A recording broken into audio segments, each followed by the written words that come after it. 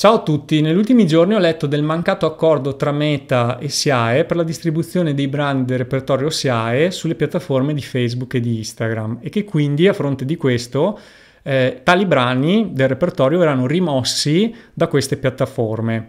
Ovviamente io mi sto facendo una mia opinione, ma aspetto i vostri commenti qui sotto. Da un lato penso che la tutela dei diritti sia fondamentale e quindi credo che la SIAE si stia muovendo in questa direzione. Però mi sorge spontanea una riflessione cioè che la maggior parte o molti diciamo autori che utilizzano i propri brani su queste piattaforme lo facciano più che altro per promuoversi e non a scopo economico. Quindi da un lato abbiamo i diritti, dall'altro la possibilità di poter utilizzare le proprie opere per scopo promozionale. Quindi vi chiedo un po' una vostra opinione e appunto cosa ne pensate.